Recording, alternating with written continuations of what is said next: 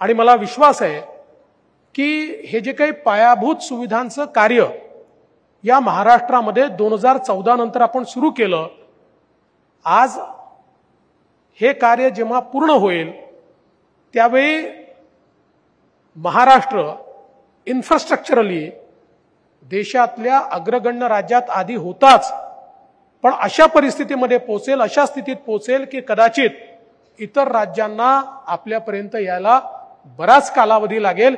इतक्या मोठ्या प्रमाणात आपण ही कार्य हातामध्ये घेतली आहेत. ही कार्य आपण पूर्ण करतोय. कारण इन्फ्रास्ट्रक्चर हे विकासाची गुरुकिल्ली आहे. आपण जर जगातल्या सर्व विकसित अर्थव्यवस्थांमध्ये बघितलं तर इन्फ्रास्ट्रक्चर लेट डेव्हलपमेंट या मॉडेलवर तिथला विकास झालाय.